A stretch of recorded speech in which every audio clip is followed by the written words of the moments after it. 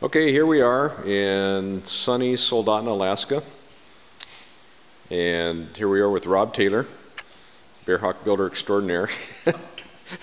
this is Rob's project. The whole idea behind uh, us building Bearhawks in Alaska anyway are to make sure that we can go have fun with them. And part of the deal is to put them on floats so we can go fly at some remote lakes and some rivers and go about and do this. Rob is a very experienced mechanic. He's now working for BP, but he's also an ex-recovering A&P. Knows what it takes to do certified. That's why he's doing experimental. So, but anyway, this is Rob's Bearhawk project. He's got an AviPro quick build kit. And one of the things we decided to do is to put them on floats. And we went ahead and uh, kind of looked at different floats. And float combination for this aircraft, overfloating a little bit, but seems to be fine, would be Edo 2870s. They're plentiful floats. They're uh, well-performing float. There's just a lot of good things about them, and they match the Bearhawk lines really well as well. So that's why the 2870s. Rob picked these up up at Merrill Field. They actually came out of McGrath, but uh, they're in fine shape, really nice floats. Rob's done a few modifications on the floats you can see he went ahead and moved the pump out cups from on the top and moved them over to the side, which is really nice. It's a nice feature. Uh, new spreader bars. The old spreader bars had a little bit of corrosion issues, but the owner of the floats went ahead and threw in a new set of spreader bar material, and Rob went ahead and cut those down to size and made them identical to the ones that were taken off. But going on to the float installation, here we got the, the steps that are on the on the struts, just a general overview of how it's all put together.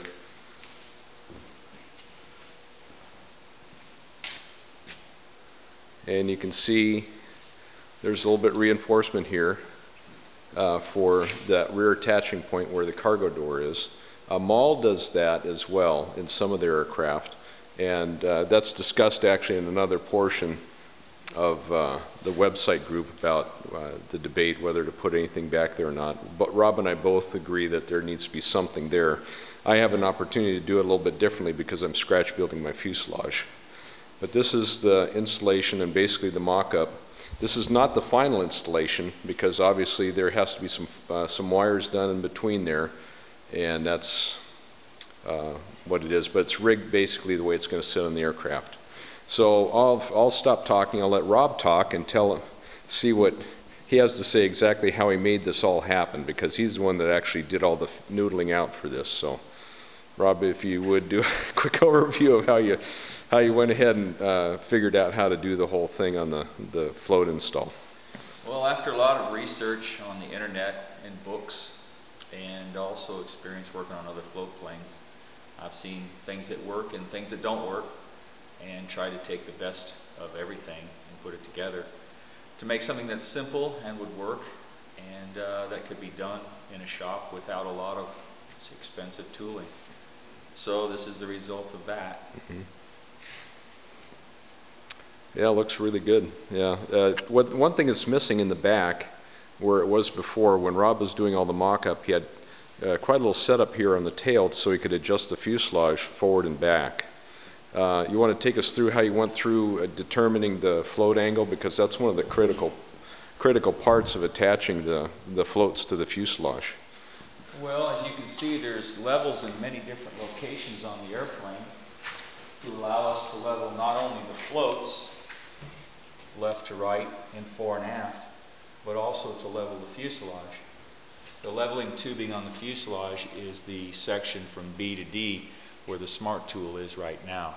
Mm -hmm. We've also set up levels across the fuselage and uh, this gives us a reference. The, the, floats were put on the bench uh, cart here which is also for launching them later when the plane's completed and we rolled them underneath the fuselage when the fuselage was suspended in the air then lowered it down and we had already leveled up the floats as level as we could possibly get them and then we set the fuselage down on top of it. We had to start somewhere, so we used the forward and the diagonal struts are the same as the 180. They haven't been changed. We made up our own uh, attachment blocks out of 2024 T3 aluminum to work for us. Kept them as short as possible. And uh, then what we did is we started lowering and raising the tail to get the angle of incident, uh, the angle of the floats uh, to the center line of the airfoil.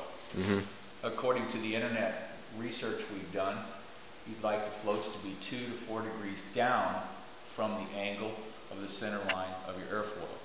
So they're actually down in relation to the airfoil. So we came up with a medium, we went for three degrees and shot for that and adjusted the tail stand, which is now gone, and set the fuselage down and set the rear struts up to where we could get an idea of what you'd have to do to make that happen. Since these floats came off of Cessna 180, we didn't expect them to be the same. But as it turned out, we shortened the struts in the rear that much. and uh, that was done with a bandsaw. And then we were able to put the uh, pre-made welded fittings on there temporarily.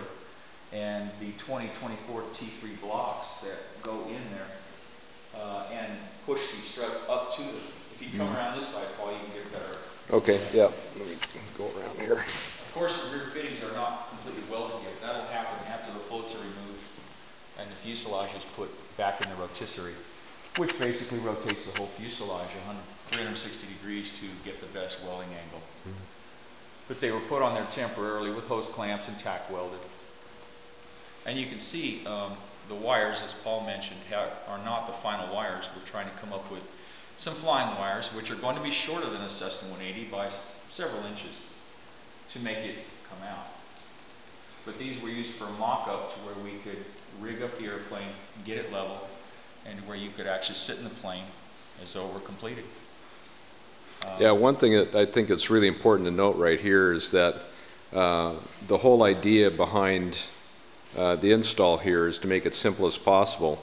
And we were pretty, pretty confident that the Cessna 180 uh, install would be very compatible with the Bearhawk design. And it's critical because on these floats, if you look at these attaching blocks, the angle is preset. There's no there's no room. You can move the struts fore and aft, but you can't move the angle uh, either towards, you know, this way, what I'm saying, uh, either vertical or horizontal. They're set. But a huge advantage to this is these struts, the length is absolutely perfect for the install and just having to cut these down as opposed to having to um, buy new strut material, which is a huge advantage, and it makes the install quite a bit better. And the other thing that Rob did, Rob, why don't you go over your, uh, your install for the, picking up the water rudders? Because I think that's pretty unique as well. Oh, okay. Um, I, I've built planes in the past, and I've seen other planes, and I try to keep it as simple as possible. You can make it really complex, or you can make it pretty simple. Uh, I like to keep things to where both people, uh, pilot or co-pilot, can operate it. It's something that's easy to make, and uh, it doesn't get in the way. And the Bearhawk's got a lot going on down there. You've got a fuel tank selector, a flap handle, and also your water rudders in close proximity to each other, so you don't want to make sure that things don't get bound up.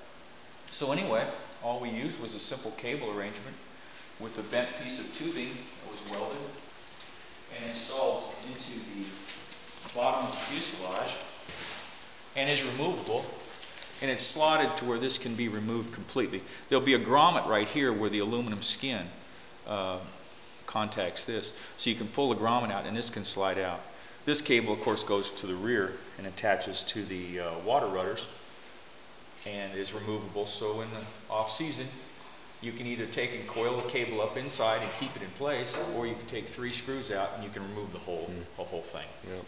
And Yep. you're all set. One thing important to note is that a water rudder, if you're not familiar with float flying, it's almost like another flight control, so you have to uh, make sure that it's uh, very reliable in this operation, because without water rudders, you can get in a lot of trouble.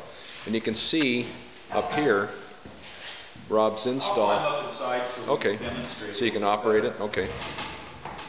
Very good.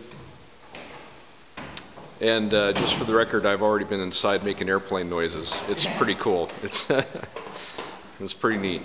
But you've got the rudder controls and elevators. got your flaps right here. You also have this, which is spring-loaded. It'll come down to about here when the floats are all hooked up. Right about there. You can operate your fuel selector valve easily. Your rudder, uh, your flaps. It's important that this can't come over this. That's why the strut is welded. So there's no way that you can foul flaps with your water rudders. Pretty simple. It hooks up here. You lift against the spring this last inch and it drops down. You lift up, which you have to go up in order to come off, and then down. And your water rudders drop by springs in the back. Pretty simple and it works. Very good. Anyway, that's the quick overview, and when I mean quick overview, although it took probably about 10 minutes worth of video time, it is a very quick overview because uh, Rob makes it simple. It's actually a very complex uh, install to make sure that all the angles are correct and make sure everything is squared up because there's so many variables in this install. But the end result speaks for itself. It's very clean install. Very little modification had to be done with the floats itself and the spreader bars and with uh, with the strut material. Really, the only modification needed to be done is shortening these two aft struts from the Cessna 180 install. And then, of course, the fabrication of the aluminum blocks and the rear float fittings. So that's about it. So we'll hopefully make a, uh, make one more video when we get the flying wires installed, or I should say we, Rob, when Rob gets the flying, flying wires installed. It's a group effort. That's right, yeah. But anyway, there you go. Say goodbye, Rob. Goodbye, Rob.